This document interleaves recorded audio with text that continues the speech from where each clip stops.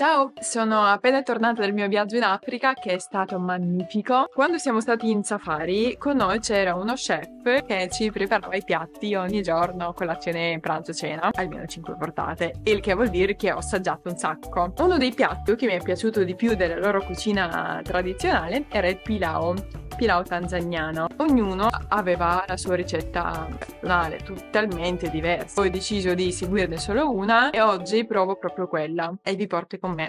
Andiamo!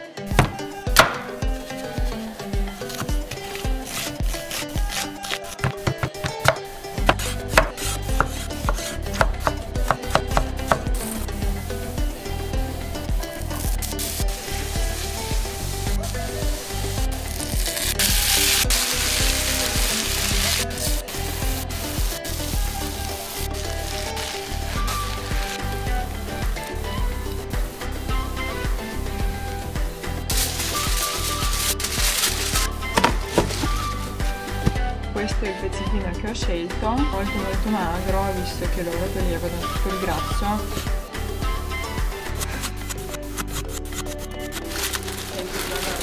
Bisogna mescolarlo. Wow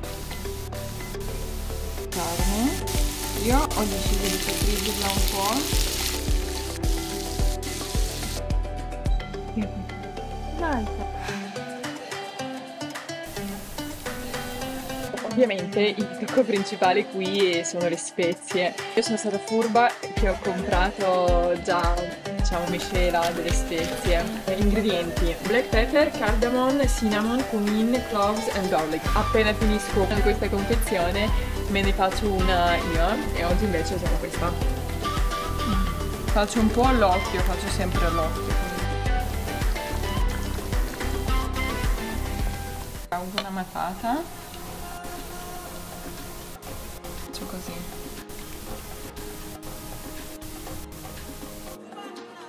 Mm. Il sughino sopra è buonissimo.